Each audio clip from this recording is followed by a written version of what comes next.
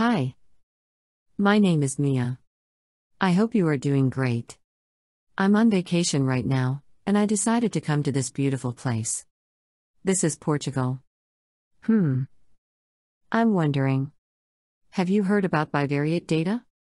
Well, that is data for two variables, usually two types of related data.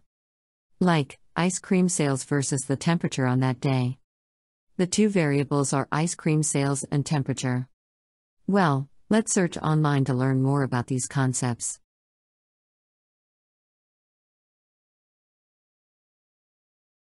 Okay, let's start with the concept of bivariate data.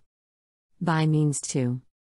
Therefore, bivariate data involves studying and comparing two separate variables. Bivariate data is used to look for relationships between variables. One of the main purposes of determining whether or not two variables are related is to see if one variable causes the other. A causal link between two variables is typically found by determining if changes in one variable are caused by changes in another. We have two basic types of variables independent variables and dependent variables. The independent variable is the variable that a researcher manipulates in an experiment. The researcher predicts that changing the independent variable causes a meaningful change in another variable. The dependent variable is the variable that a researcher predicts will change by manipulating the independent variable.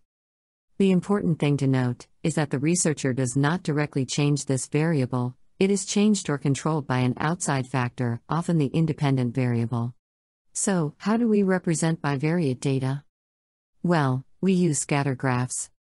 A scatter graph of bivariate data is a two dimensional graph with one variable on one axis and the other variable on the other axis. We then plot the corresponding points on the graph. We can then draw a regression line, also known as a line of best fit, and look at the correlation of the data, which direction the data goes, and how close to the line of best fit the data points are. Let's check the following example.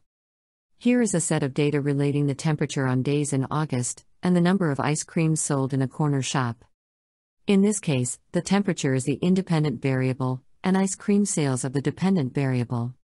This means that we plot temperature on the x axis and ice cream sales on the y axis. The resulting graph looks like this. Cool, right? So, what do you say? Can you continue recognizing bivariate data in real world situations? Just remember that today you learned the concepts and characteristics of bivariate data. How to differentiate independent variables and dependent variables. And how to represent bivariate data by using scatter graphs. Practice a lot, and you will see that you will be better at it. I have to go now. Bye. And see you next time.